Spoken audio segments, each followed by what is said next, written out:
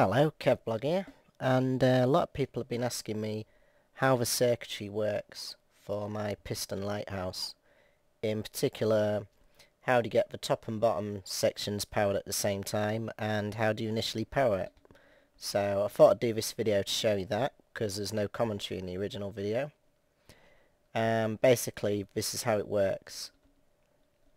You're going to need a switch or a pressure plate to start the power because it just needs to be a pulse of current and the repeaters keep the current going round. And to get the current to the top I've used a sort of spiral of redstone wire. And that's this that you can see here. Here's the circuit if you can't remember.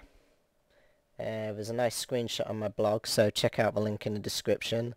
So current comes in branches out to the first set of pistons, comes round, has a delay, branches out to the next set of pistons, comes round, has a delay, and just keeps going round in an eternal loop.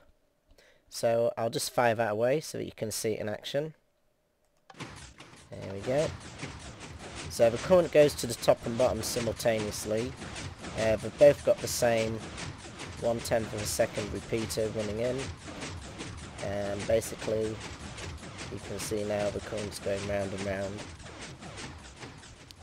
Much more effective in the full lighthouse design uh, but I've just put this all away so you can actually see it in action